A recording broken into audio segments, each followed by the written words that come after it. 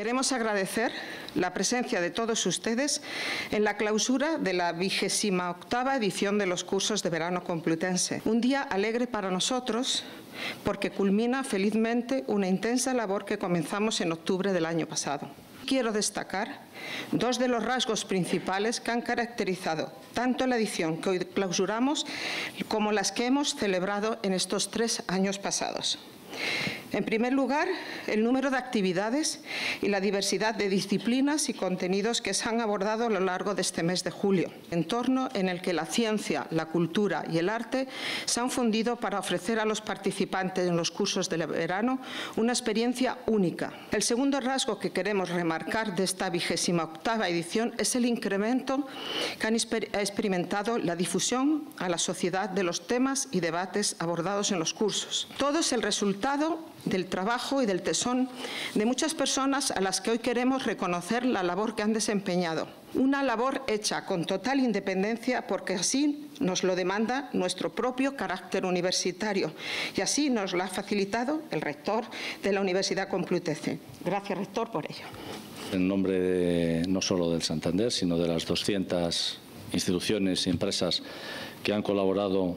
gustosamente con la Universidad Complutense, que forma parte de un esfuerzo también de un empeño sin fin por mejorar nuestra universidad y contribuir a hacer una sociedad mejor formada para que podamos afrontar con éxito los desafíos del futuro, que no son pocos. Han pasado cuatro semanas desde que iniciamos esta edición número 28 de los cursos de verano Complutense en San Lorenzo del Escorial. Cuatro semanas de actividad frenética durante las que por estas aulas han pasado literatos, políticos, periodistas, empresarios, científicos, pintores, banqueros, militares, cineastas, rectores, ministros y, sobre todo, lo más importante, estudiantes que han llenado de vida estos cursos, creando, como decíamos en la inauguración, un entorno de aprendizaje rico, multidisciplinar, basado en el diálogo entre saberes y la convivencia entre las personas.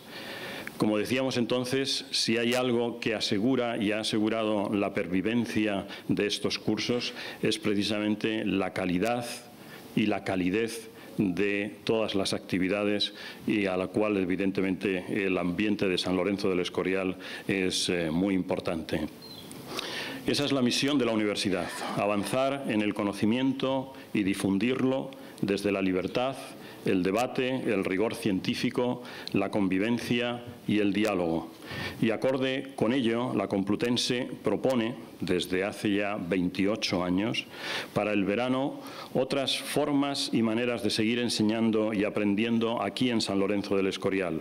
un lugar que no es solo el conjunto de sus recoletas calles o de sus plazas expuestas al relente serrano que tanto se agradece, no es solo el monasterio con su grandiosa austeridad